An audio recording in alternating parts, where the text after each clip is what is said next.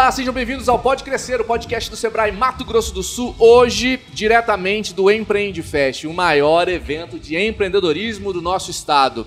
Um festival repleto de atividades celebrando e comemorando também o Dia Nacional da Micro e Pequena Empresa no dia 5 de outubro. Meu nome é Bruno Moza e vou estar aqui conduzindo um bate-papo com os convidados especiais desses dois dias. Então vem com a gente que vocês vão gostar.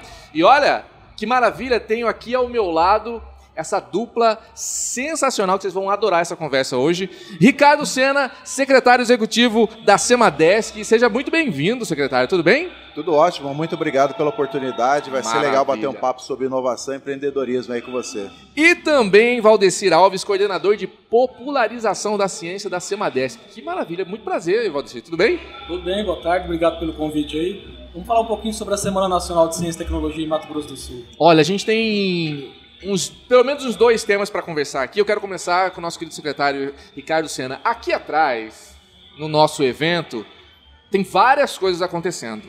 Então eu queria que você explicasse para a gente uma das coisas que é logo que está atrás de você, que são essas conexões inovadoras. O que, que é esse espaço aqui dentro do Empreende Fest? Quando a gente fala de inovação, a gente sempre fala da tríplice hélice: governo, empresas e academia trabalhando de forma conjunta para gerar inovações e acelerar o processo de desenvolvimento. Boa. Né? E aí, com base nesse conceito, nós aproveitamos a parceria que nós temos com o Sebrae, o governo do estado propôs, então, é, neste evento que é o Empreende Fest, criar esse espaço Conexões Inovadoras. Uhum. Porque nós entendemos que a mesma, as mesmas características do empreendedor também são as mesmas características de quem inova são sim, muito sim. semelhantes. Então, uh, o que, que a gente quis fazer? Trazer, então, é, a academia para cá. Uhum. Por quê? Porque boa parte das inovações sempre vem da pesquisa científica. Sem dúvida. Né? E aí nós fizemos o convite às instituições, criamos editais, eh, as universidades então participaram e estão expondo aí. E tem muita coisa legal. Uhum. Tem tecnologia baseada em visão computacional para o agronegócio, e eu tenho falado aqui, por exemplo, né, que nós temos o Laboratório de Biotecnologia da UCDB, que criou um cosmético que nós tivemos agora no Rock in Rio uma, uma garota propaganda de peso usando esse produto, que Quem? foi a Kate Perry. Então a Kate Perry, você sabia disso? Não. A Kate Perry usando um cosmético desenvolvido na nossa Universidade ah, Católica tá Dom Bosco via Mato Grosso do Sul direto para a pele de Kate Perry. Exatamente, exatamente. E eles estão aqui, estão expondo. Então nós temos aqui também o pessoal da UFGD com tecnologias voltadas para agricultura familiar, para aldeias indígenas, o Instituto Federal apresentando um trabalho junto à empresa Júnior. Então as universidades, o qual foi o convite que nós fizemos? Uhum. Se você tem uma pesquisa científica robusta, de ponta, né, que possa é, transformar, né, gerar um negócio, gerar uma empresa, criar um novo produto, um serviço, ou transformar uma, um território, né, é, cadastre-se e a gente fez uma seleção e uma parte os reitores fizeram a indicação, né? Uhum. Então esse pessoal tá aí. Então eu acho que é, e, e eles estão aqui por quê? Porque bom, se esse é o espaço do empreendedor, o empreendedor vai circular por, esse, por essas várias atrações e vai parar ali. Fala assim, vem cá, universidade, como é que esse seu produto pode me ajudar? E aí, Bruno, detalhezinho, tá bom? Acabei de falar aqui com uma dessas expositores da universidade. Já tem uma pré-venda do produto com uma empresa. Ah, olha, gente, olha que maravilha que isso. Sensacional. Olha que maravilha. A gente está mudando a mentalidade, está tentando criar um novo mecanismo de aproximação da universidade com, uh, com o mercado. Ô, Ricardo, eu acho importante isso pelo seguinte: a universidade é a fonte de onde muita pesquisa acontece. É para isso que ela existe também. É uma das, é uma das bases, né? É, pesquisa, extensão e ensino, ensino, não é? Agora, ter esses parceiros, a, a junção desses parceiros, né? O governo, o Sebrae, para dar vez e para dar voz para essas pesquisas, para esses cientistas, eu acho que esse tipo de ação é, ela aumenta em muito as conexões que são necessárias, né? Para trazer a academia cada vez mais perto da comunidade, né?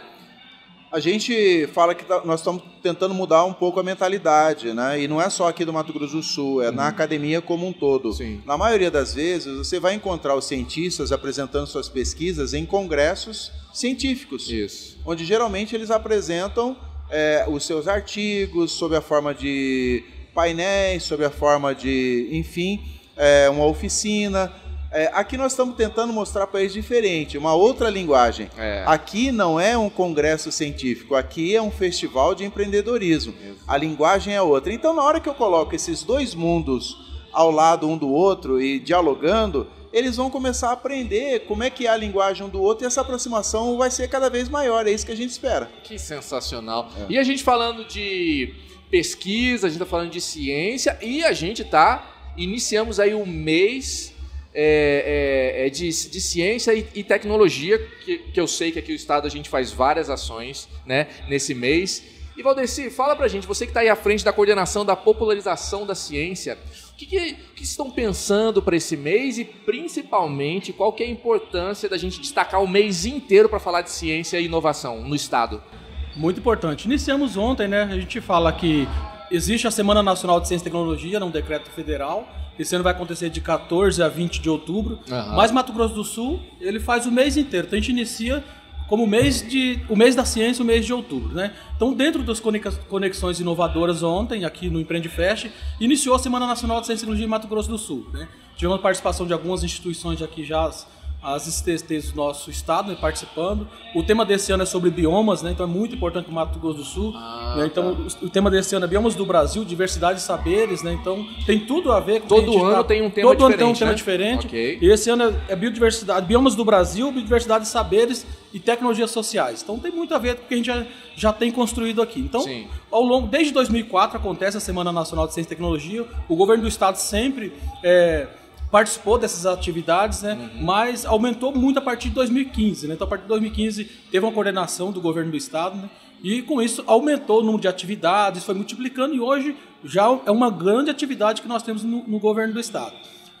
Lembrando bem que nós temos é, dois tipos de, de, investimento. Um foi pelo CNPq, que sempre foi um investimento do CNPq, em torno de 200 mil reais, que ele investia isso desde 2004. Okay. E esse ano o governo do estado viu a, a necessidade né, da gente aumentar esse potencial e o governo do estado disponibilizou 1 milhão e 300 reais para projetos da Semana de Ciência e Tecnologia no Mato Grosso do Sul. Então, hoje nós temos 24 projetos aprovados, praticamente atendendo todas as regiões do estado. Então, a partir de hoje, começa no estado inteiro várias atividades da Semana Nacional de Ciência e Tecnologia. A partir da semana que vem a gente vai ter um cardápio, na verdade, não é nem uma programação, é um cardápio, porque é muita atividade. Então, nós temos um cardápio aí da Semana de Ciência e Tecnologia no estado inteiro. Então, é, de norte a sul do estado, atividade em todos os lugares. E outro fator interessante também, é, normalmente a gente faz atividade dentro das universidades, né? Então isso ficava muita atividade para nós mesmos. Então, a partir desse ano, por determinação da Secretaria Executiva do secretário Ricardo Sena, é para sair fora da universidade, extramundo da universidade. Então, os eventos vão acontecer em praças, os pesquisadores também tomaram isso ah, como, como isso é missão para eles também, então tá levando os eventos para praça, para as escolas públicas também, então vai ser extramuro das universidades. Então, uhum. tem um evento bem bacana, começa agora a partir do dia 2 e vai até o dia 31 do 10, vários eventos no estado inteiro. Sensacional. Tá?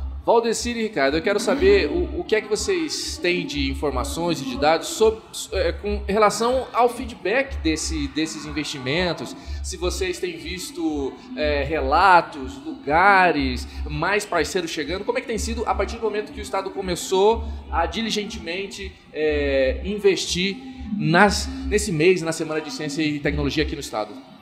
Bom, primeiro, a comunidade acadêmica, ela, ela, ela ficou bem surpreendida, né? Porque é um investimento inédito que a gente está fazendo. Esse valor que nós disponibilizamos de 1 milhão e 300 para os projetos é o maior valor do país. Alguns Uau. estados fizeram esse aporte maior, mas para o evento como um todo, para infraestrutura, uhum. para espaço físico esse 1 milhão e 300 que nós estamos colocando, nós estamos colocando diretamente no projeto. Né? Então, isso aí é uma. É, a, a, comunidade acadêmica ela tem recebido é, com muito bons olhos, porque é a primeira vez que isso está acontecendo no Mato Grosso do Sul. Né? Uhum. Então, quando o governador Eduardo Riedel criou essa nova governança é, criando a, ciência, a Secretaria Executiva de Ciência, Tecnologia e Inovação, juntamente com a Fundect, a gente deu mais robustez a essa política Sim. de ciência e tecnologia. Né? E agora a gente está avançando ainda mais nesses processos de inovação. Inclusive, inovando na forma do relacionamento institucional, como bem colocou o Valdecir. Né? A gente não quer simplesmente é, apoiar financeiramente projetos que ficam dentro da própria universidade. É. Não, a gente quer que esse processo seja transbordado para toda a sociedade. Exato. Até para tirar barreiras, para a gente superar gargalos, mostrar que o conhecimento científico ele está disponível e pode ser acessado por todo e qualquer cidadão. Isso é, é importante demais. É, então acho que é importante que ele saiba que uma determinada pesquisa, por exemplo, a pitanga, que muitas, muitos quintais a gente às vezes vê até na rua. Bom demais. Então, fruto gostoso. E a folha tem um óleo que a UFGD está testando com apoio financeiro é, do governo do estado para transformar num óleo repelente para combater, por exemplo, uh, o mosquito da dengue, repelir o mosquito da dengue, por exemplo. Uau. Então, assim, coisas que são simples, cabelo de milho que serve como um chá é, digestivo, né? enfim, tem N oportunidades que a gente pode aproveitar e, e, e, e se beneficiar do conhecimento que é gerado nas universidades e fazer com que ele chegue, chegue no cidadão comum, para que ele aprenda, para que ele saiba como utilizar aquele conhecimento no seu dia a dia. E para a gente isso é inovação. Inovação é tudo aquilo que pode melhorar o seu dia a dia. Sem dúvida. Ô, Deciro, eu queria que, se você quiser complementar, mas eu queria colocar mais uma pergunta que é o seguinte: o que você enxerga como os principais desafios hoje em dia de coordenar a popularização da ciência, que eu acho importantíssima, para o estado inteiro, porque deve ser um, né, é uma responsa, né? É, na verdade sim, mas é, Mato Grosso do Sul tem uma peculiaridade, assim, é um estado grande, mas a nós temos muitas instituições no, no interior, né? Então uhum. é bem esparramado. Então, com o apoio que a gente tem da Instituto Federal, da Universidade Federal, da UEMS, então fica fácil a gente chegar lá na ponta por conta disso, né? Assim, é, não é fácil você organizar tudo isso, mas com esses parceiros, para a nossa secretaria, né, com a boa vontade do governador, a boa vontade do nosso secretário executivo, aí fica fácil, tá? Não, não, é difícil não. Né? Contando com a parceria e contando com o apoio que o governo hoje tem disponibilizado, não é difícil não, é tranquilo. Olha, vocês que andam pelo Brasil inteiro aí, o que, que vocês acham? Mato Grosso do Sul está bem representado com relação a talentos, a, a a, a, a, qualidade do nosso material humano com relação à ciência e tecnologia. O que, que você acha, Valdecir? Com certeza. A gente, nós é, organizamos agora, que fica dentro também da população da ciência, a Conferência Nacional de Ciência e Tecnologia. Uhum. Né? E nós fizemos a nossa etapa estadual e etapa municipal. Então nós visitamos diversos municípios pelo interior do estado. Tem muita coisa boa sendo produzida no interior do estado que a gente não tinha conhecimento ainda. Entendi. Sabe? Então tem muito conhecimento gerando, tem muito produto sendo gerado nas nossas instituições aí no interior do estado que a gente não tinha conhecimento. Seja na área de agricultura, seja na área de software, né? Então, assim, Mato Grosso do Sul, pela população que tem, pelo o, o, um, é um, um é um, um, um, estado ainda muito da, da, da, da, agricultura e da pecuária, né? Mas tem muita coisa envolvida na área de tecnologias é, de TI, né? Então tem muita coisa, questão de software, de aplicação na agricultura pecuária. Então a gente tem muita coisa bacana assim, é que às vezes a gente ou não é divulgado, a gente ainda não tinha conhecimento. Exato. E a oportunidade é essa, de usar a Semana de Ciência e Tecnologia para fazer que esse conhecimento chegue para toda a comunidade, para toda a sociedade no modo geral, né? Então, essa conferência que teve foi um marco para isso, para a gente conhecer um pouco o interior e ver tudo que está sendo produzido lá no interior do estado. Sensacional. Ricardo, o que, que você acha? A gente, perante o Brasil, estamos bem? A gente ainda tem um problema crônico no Brasil, que é a simetria é, de apoio dos projetos que ficam geralmente na região sul e sudeste. Uhum. As regiões norte, nordeste e centro-oeste geralmente ficam com um pedaço muito pequeno do bolo. Sim. E a gente, nos fóruns que nós temos participado em nível nacional, a gente tem defendido que essa distribuição do, do recurso seja um pouco mais equitativa. Né?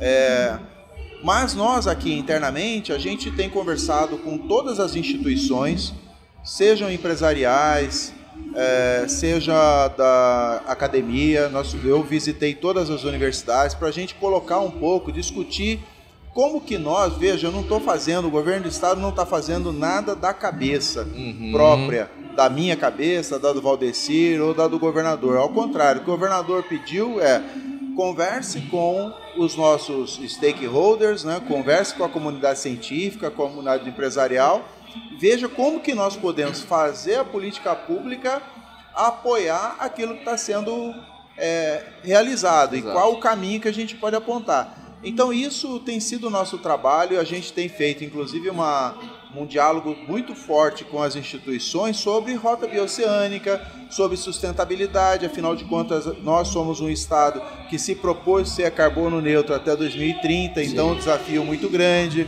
Nós temos um agronegócio, nós vamos ter a COP no Brasil no ano que vem. Então a gente já começa a fazer uma discussão para mostrar que a nossa agropecuária é uma agropecuária que tem protocolos sustentáveis, né? Então lá na secretaria, na Semadesc, o secretário Jaime tem feito esse trabalho de dialogar também com os setores para mostrar que protocolos de sustentabilidade são essenciais para que a gente tenha uma produção é, amiga da natureza, Sim, né? Sem dúvida. Então acho que o, o, Mato Grosso do Sul acho que está bem. E o que nós estamos fazendo com essas atividades todas aí, muitas outras, é, é, é despertar a comunidade acadêmica para dizer o seguinte: olha, vocês são talentosos, Deus. o talento está aqui. O que nós queremos é pegar esse talento e transbordar para a sociedade, seja para o mercado, seja para os centros urbanos, para as periferias, para os assentamentos rurais, para comunidades ribeirinhas e quilombolas. Não importa, o que a gente precisa é fazer com que esse conhecimento entre no DNA da nossa, do nosso dia a dia. Né? Sensacional, é sensacional. Secretário Ricardo Sena, meu querido Valdecir Alves, olha, eu quero agradecer vocês, mas antes de ir embora, não posso deixar você sair daqui sem um presentinho. Nós temos presente aqui também. Olha, são dois kits que eu quero. Maravilha, hein? Secretário, passa pro Valdecir esse aqui o próximo fica contigo, mas eu vou pedir uma gentileza para um de vocês aí, ó, colocar aqui em cima da mesa para eu explicar o que é que tem aí dentro para todo mundo que tá aqui. Primeiro, começa com essa sacola, que é feita por uma comunidade indígena da etnia Ofaié, que produz esse material aqui. Aqui a gente tem um mix de geleias, tá? Uh, da colher em colher também. Aqui uma cachaçinha da De Bonito Cachaçaria, sensacional. Essa é sabor guavira. Sensacional. Né? É, a dica que eu tô dando para os nossos convidados é o seguinte: ou nem abre ou abre em casa, porque a hora que experimentar é uma delícia. Esse baralho ele é temático com os. Uh, com, a, com o assunto do Pantanal para vocês. E temos aqui também uma. São as nossas palavras de carinho para vocês, os nossos convidados, ok? Ah, muito Eu obrigado. quero agradecer muito a presença de vocês, agradecer também, em nome do Sebrae, a essa parceria, esse espaço que está aqui. Valdeci, parabéns também pelo seu trabalho aí à frente da coordenação da popularização da ciência, que é muito importante, tá bom? Nós que agradecemos. Valeu, Bruno. Obrigado pela oportunidade. Eu acho que, sem dúvida nenhuma, esse evento aqui acho que vai entrar para a história sobre diversos aspectos. Sim. Não só pela quantidade de inscritos, é, mas também por essa forma como a gente organizou esses espaços que eu acho que todo mundo está aproveitando. Parabéns pelo teu trabalho. Muito obrigado. Parabéns por nos ajudar a divulgar a ciência. Isso aí, sem dúvida nenhuma, é sensacional. Muito obrigado. Muito obrigado, senhores. E olha, antes da gente terminar, não esqueçam de seguir o Sebrae nas redes sociais, arroba SebraeMS no Instagram e o canal do Sebrae Mato Grosso do Sul no YouTube, para você não perder nenhuma conversa como essa que a gente teve. E se você está vendo ou ouvindo a gente pelos seus agregadores de podcast, não esqueça de adicionar o Pode Crescer à sua playlist, tá ok? Como sempre, a gente se encontra numa próxima edição do Pode Crescer, o podcast do Sebrae Mato Grosso do Sul. Até lá, tchau!